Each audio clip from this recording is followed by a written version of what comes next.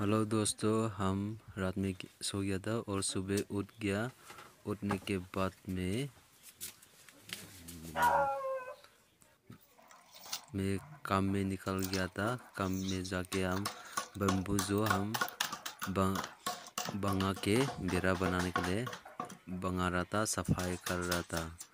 और इस इसका बाद में हम लोग सभी दोस्त लोग कोई सफ़ा कर रहा है, कोई उठा रहा है, ऐसा काम कर रहा है हम लोग। तो इतना है आज का वीडियो।